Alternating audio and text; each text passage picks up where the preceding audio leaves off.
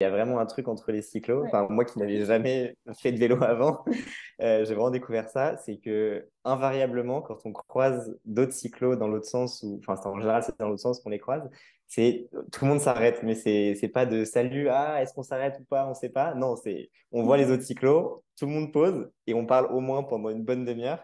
Et, euh, et c'est toujours des échanges, mais c'est rigolo parce qu'il y a vraiment, on se rend compte que c'est une vraie communauté et que tout le monde est euh, hyper, euh, a, trop envie de, de savoir bah, que, à, quoi ressemblent les sacs, à quoi ressemble l'itinéraire, à quoi ressemblent les vélos. Enfin, c'est, c'est vraiment un, gros moment de partage, donc c'est, trop génial. Et ce qui est trop, trop chouette, c'est de voir à quel point c'est tellement des profils différents.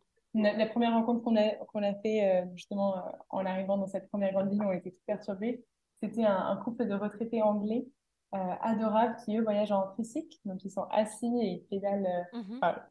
faut, faut, regarder une photo sur Internet parce que c'est pas, c'est pas le plus commun, surtout dans les montagnes du Laos. C'est très sportif. Et eux voyagent depuis 10 ans à vélo à travers le monde. Donc, c'est, ah c'était super inspirant de les voir. Moi, j'envoyais tout un message à mes parents en leur disant euh, voyez, il n'y a pas de, y a pas de limite d'âge pour, euh, pour faire ce genre d'aventure.